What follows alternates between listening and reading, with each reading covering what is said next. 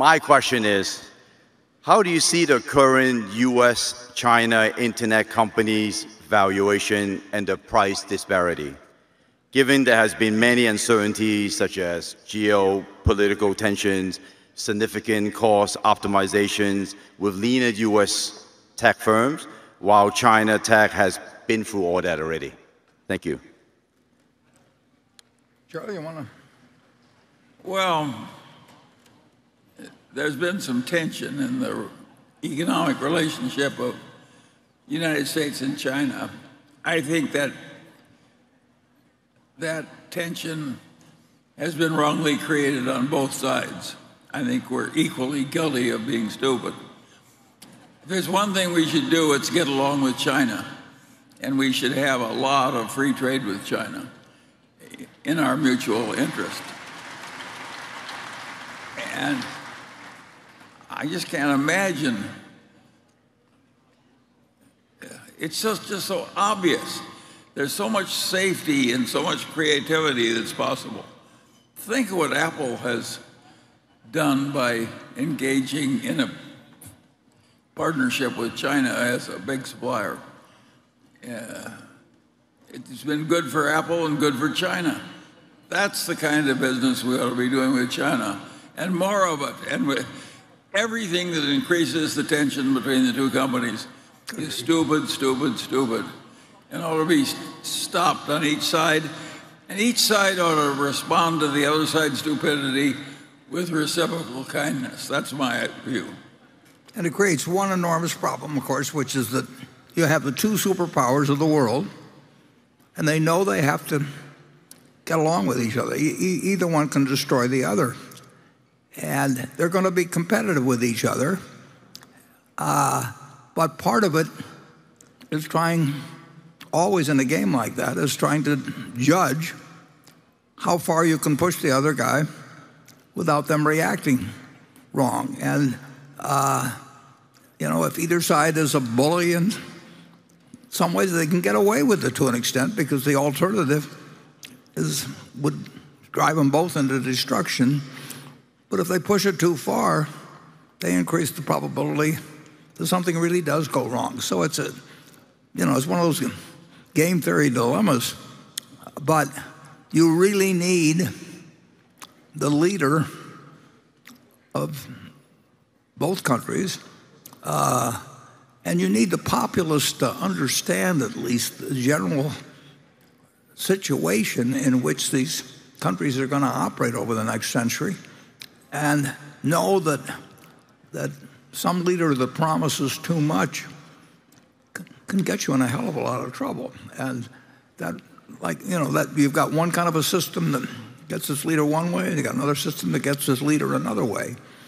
And keeping keeping either side from trying to play the game too hard, uh, and thinking the other side will, will go along, it's like playing chicken you know, and driving toward a cliff. So it is, if you got any diplomacy skills, persuasive skills, or anything like that, you really want people that will convince the other country as well as his own or her own country that that this is what we're engaged in. We've got to do it right.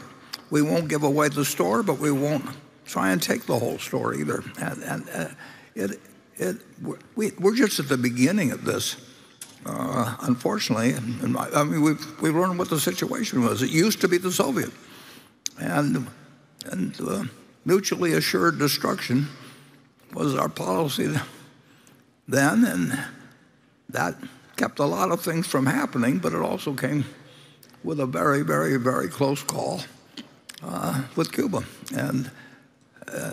These are not, you know, these are different games than existed hundreds of years ago. You could, you know, Britain might rule the seas, or France or Spain, but but now you're playing with a game that you can't really make a huge mistake in. And I think that that that should be the better that's understood in both countries, the more the leaders feel that their citizenry does understand that, the better off we'll be, and that a lot of demo, uh, uh, uh, demography or the a lot of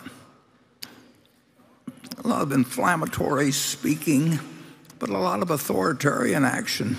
I mean, it, it all carries its dangers, and the world has stumbled through the years post 1945 with a lot of close calls from the in the nuclear arena. And now we've got pandemics and we've got we've got cyber and a whole bunch of other things. So we've got more tools of destruction than the world's ever had. And it, it's imperative that China and the United States both understand what the game is and understand that you can't push too hard. But we're going, but both places are going to be competitive, and both can prosper. That's that's what really is. That's that's the vision that is out there. That China will have a more wonderful country. The United States will have a more wonderful country, and and and the two are not just compatible; they're almost imperative in terms of uh, what's going to happen in the next hundred years or so. And uh, uh, I think that the leaders of both countries have got an important job in in having that understood and not to do inflammatory things.